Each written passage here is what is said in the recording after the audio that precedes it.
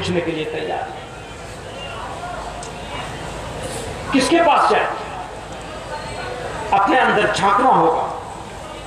اپنی غلطیوں کو پہچاننا ہوگا۔ اپنی کمزوریوں کو پہچاننا ہوگا اور اپنے اندر طاقت پیدا کرنی ہوگی۔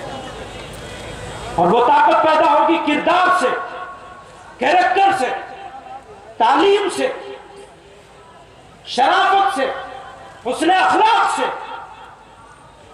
لوگوں کے لیے اپنے دل میں خیر خواہی کے جذبے سے۔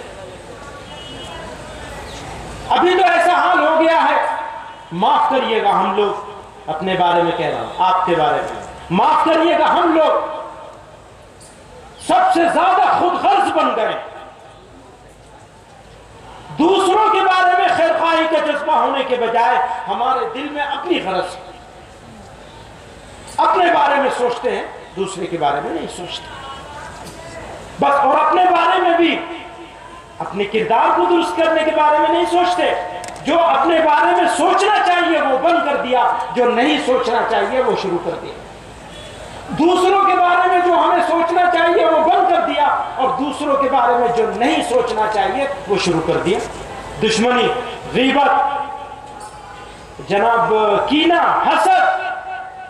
یہ ساری اسپیشلٹیز یہ اسپیشلٹی ہے؟ یہ بد کرداری اسی کو کہتے ہیں کردار کو درست کرنے کے بعد۔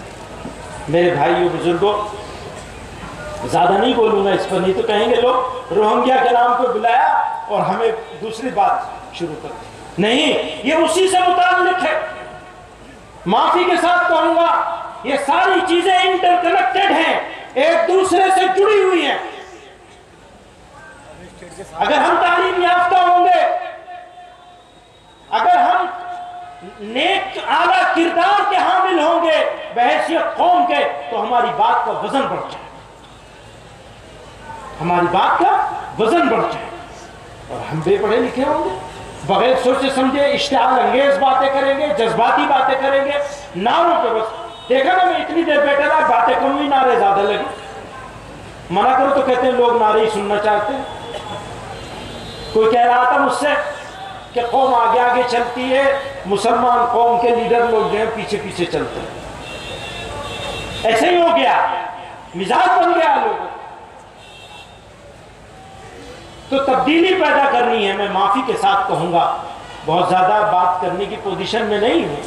اس لیے کہ جتنی خرابیاں میں اپنی قوم کی گنا رہا ہوں، ساری میرے اندر پائی جاتی ہیں۔ اس لیے بہت زیادہ کہنے کی پوزیشن میں نہیں ہوں۔ اللہ کرے میرے اندر سے بیماریاں وہ نکل جائیں تو میں اور زیادہ زور سے آپ سے کہہ سکوں گا۔ تو آپ کو بھی ٹھیک کرنے کی ضرورت ہے اور مجھے بھی ٹھیک کرنے کی ضرورت ہے۔ اللہ تعالی ہمیں آپ کو سب کو پیغمبر علیہ السلاۃ والسلام کی سنتوں پر چلنے کی توفیق عطا ویسا بننے کی کوشش کرنے کی توفیق عطا جیسا انہوں نے بتایا ایسا ماننے کی توفیق عطا اور ظالموں کے ظلم کے خلاف جہد مسلسل کی توفیق عطا فرمائے۔ ہمارے کردار کو درست کرنے کی توفیق عطا فرمائے۔ وآخر دعوانا الحمدللہ۔